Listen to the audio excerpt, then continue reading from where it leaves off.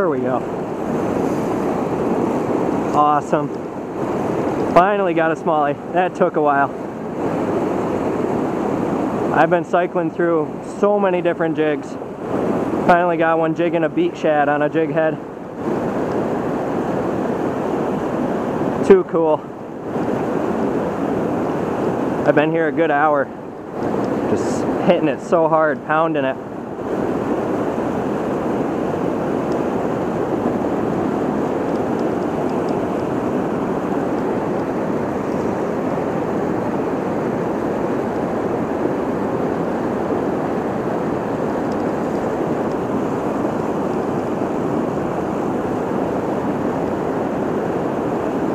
Take a moment to get them in here. Uh, heavy currents, high water today.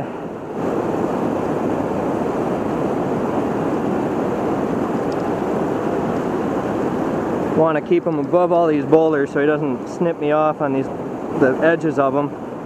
Also don't want him to jump too much though. Tricky, you gotta keep him right in the right, right water column.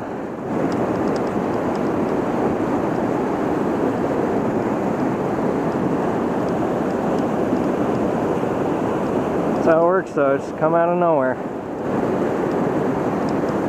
Either they're real picky or this is a fresh fish that just moved in. One or the other. I threw so many different types of jigs in that pocket. Bucktails, smaller swim bait jigs, micro swim bait jigs. Um, I don't even remember what else. Other stuff too.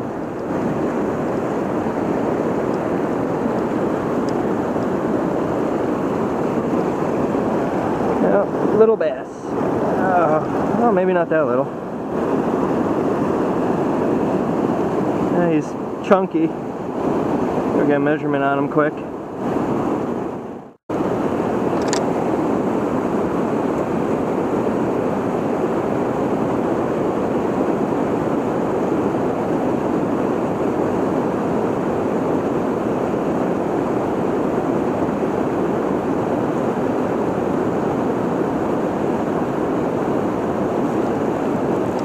There we go. Working a white spinner bait. Another smallie. Sweet.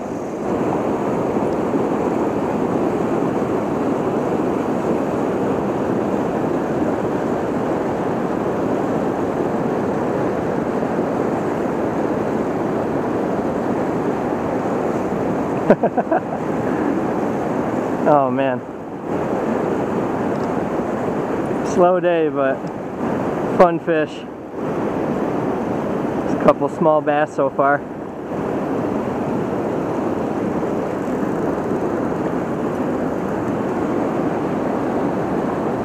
Yeah. It's like a, I don't know, 15 and a half probably.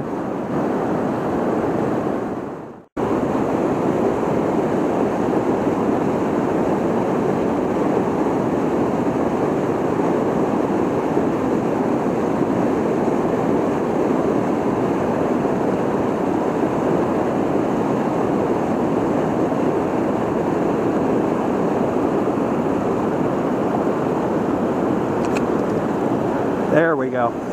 There's a fish.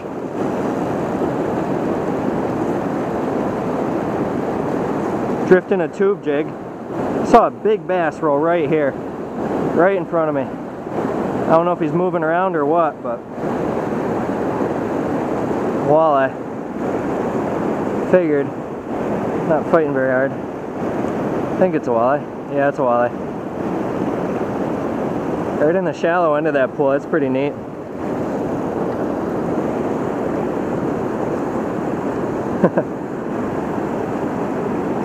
Nice, I don't know, 16 3 quarter, 17 inch walleye, right around there. Interesting cut on his tail there.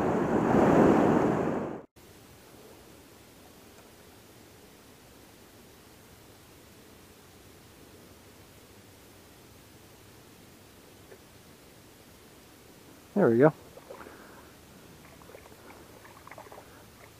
a tiny bass. Looking for a bluegill.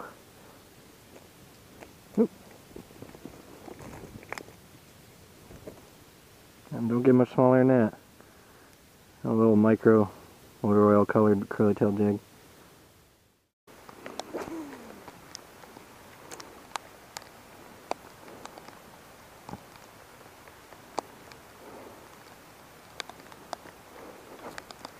There we go. There's a bass. Just working a jitterbug here. it's a little guy.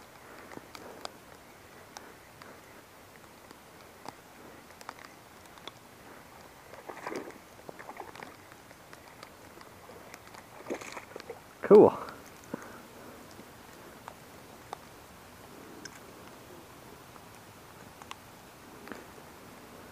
Oh, bet. Oh, 13 inch largemouth, 12 and a half, 13.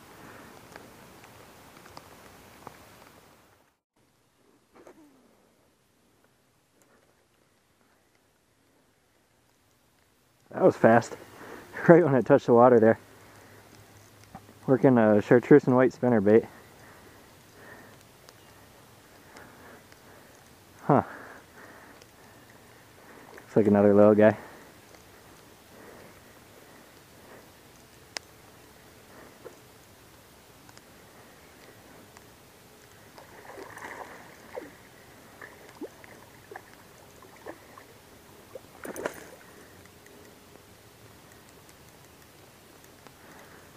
Right around the same size as the last one, but fatter. Yeah, maybe a little bit longer. He's like 13, 13 and a half inches. Chunky.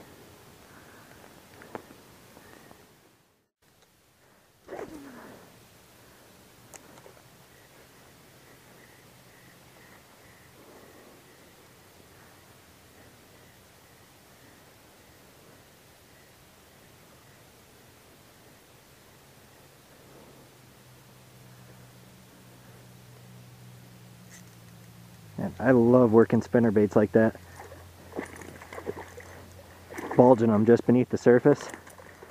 Actually caught my biggest bass that way back in the day. That one's a little better. Awesome. Nice solid largemouth, 15 to 16 inches. Slow day, but I'm picking up a few fish here and there.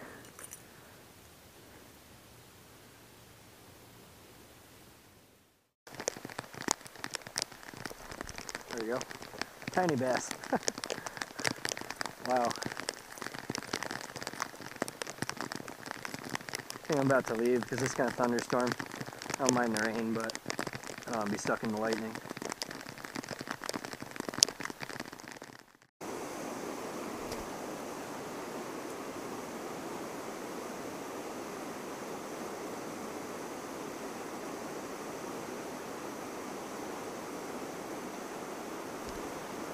There we go. Awesome. Solid fish. Move back to the first spot. Taking a brown and yellow bucktail jig. This guy's really kicking.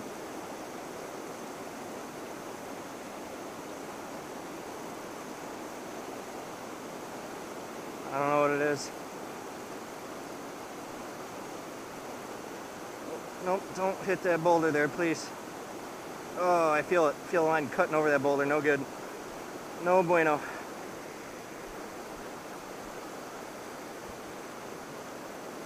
Oh, it's a nice smallie. Quality bass. Might even be a big one. Hard to tell when they jump. I judge fish really well when I'm holding it next to me, but I usually overguess them when they jump. Nice bass. Should have a good hook in them. Bass have pretty soft mouths. But then again, I have had a lot of bass spit the hook when they jump. Even big bass, a lot of big bass. Oh yeah, he's tugging pretty good. Oh, stay out of that line. That's like the worst thing that could happen is that line right there. One of the worst things.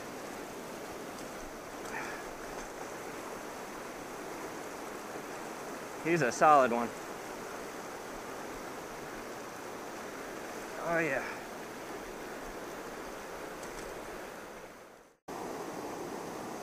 Quality Master Angler smallmouth, 19.4 inches. Just a beautiful fish. Real happy to catch her.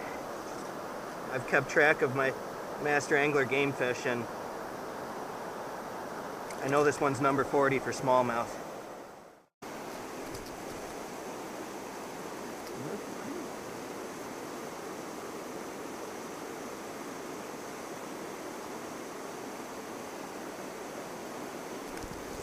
There we go. Awesome. Another fish right away. Oh man, he definitely bit it, I can tell you that much. Feels like another smallie kinda.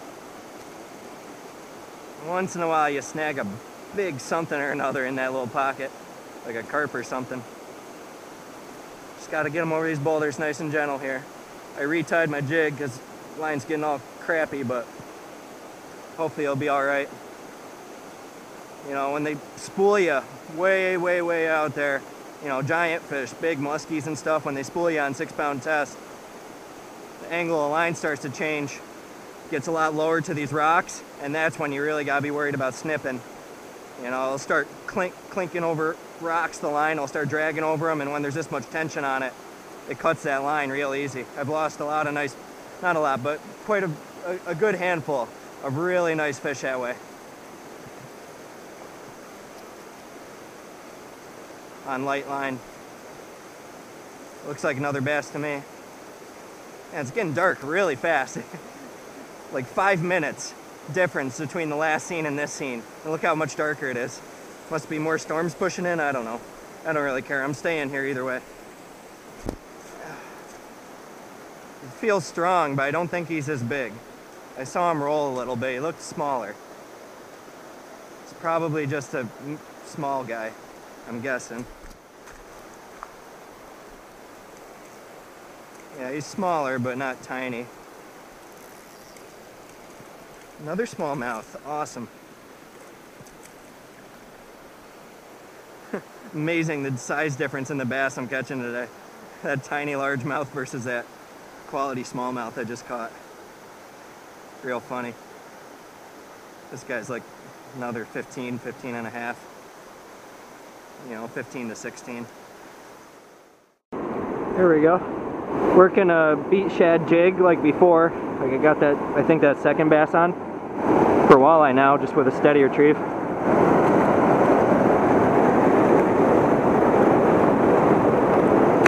Oh, shoot, there he goes. Working a brown silver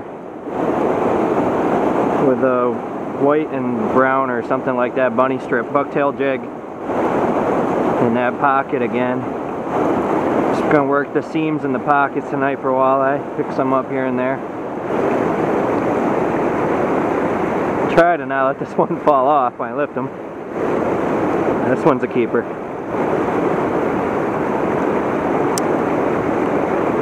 Oh man. Get a hold of them here. It's about about 16 inches. Finally picked up another one, working a two inch black and clear little swim bait jig type thing.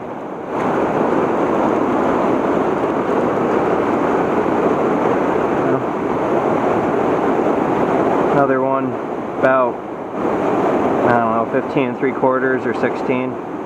This one was 16 and a half. There we go. Another walleye right next to me here. Still picking up one here and there. Oh, stay hooked, baby. there we go. That's a solid one.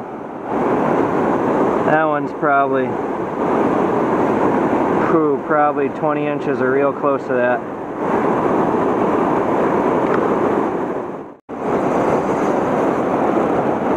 Look at him take out that drag though. I'm, I'm making ground on him, so I don't think he's a muskie. muskie on six pound test here It's usually hard. I've, I've had it happen. It's not quite like this. I might have to walk him down though. I don't know. He's. I don't have a lot of line left on this spool. Please, please, please. I want to see you. I just had a walleye pop off, so I don't want to. This might be another walleye, but a bigger one. I don't know. Or it could be a night smallie. I do pick up smallies at night, but you know, not as not as many as in the day. A lot of things this could be. I felt him bite though, so got this pole doubled over here on him, trying to put some backbone on it. Really don't want to lose him. I don't know what he is. Could be smaller than I think he is because of the current, but you never really know.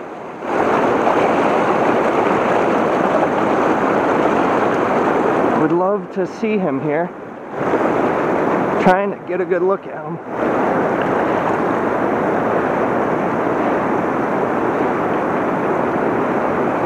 Try, I'm right in front of here, trying to get a look at him. I think it's a catfish. Weird. Oh, I got junk in my... That's why he's fighting hard. It's a catfish. Just a small one. That's so cool. So cool. I don't catch channel cats on jigs very often. I catch tons of these guys here, but not on jigs, on bait. Caught a few on jigs, but not many. Alright. Well, since it's a cat, I should have a good hook on him. That's so cool. Got him on that same little two inch uh, swim bait jig. I don't know if I mentioned that yet.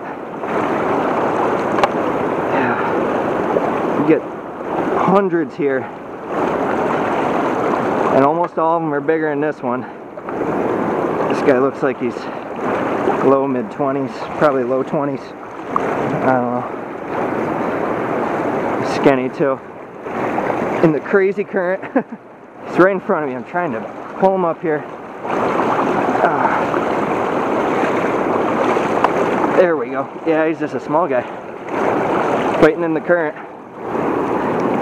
On six pound test. That current's so strong it makes small fish feel like big fish, especially powerful fish like a catfish. He's probably, I don't know, 24 to 25 incher small one. Still really neat to catch them. That feels like a small walleye.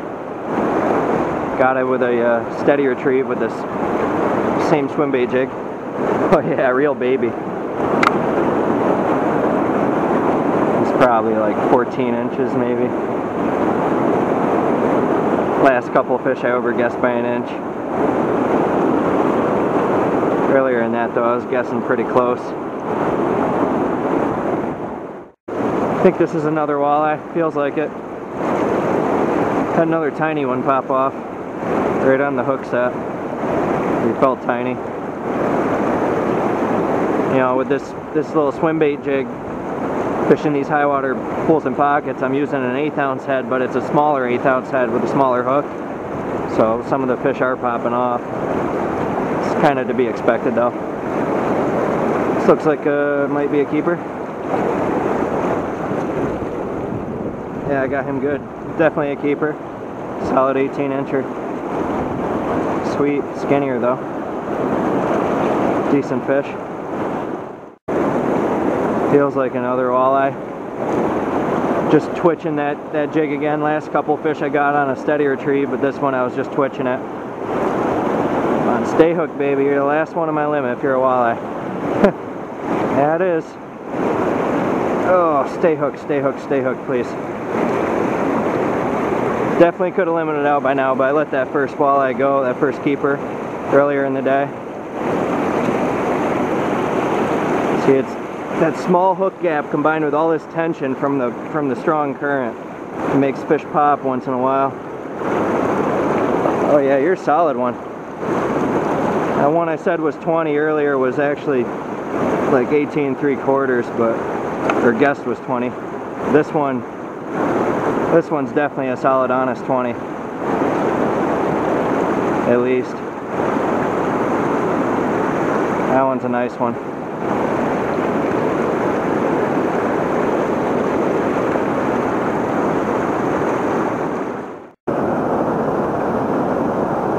Figure I'd show you some fish quick before I head out. Picked up a limit of walleye. Also kept that small catfish. Everything else I caught today I let go. You know, smallest walleye here is about 16 inches and biggest one's right on 20 inches. So, bunch of nice, decent eaters. I'm gonna share them with my friend right after I pack my ice here.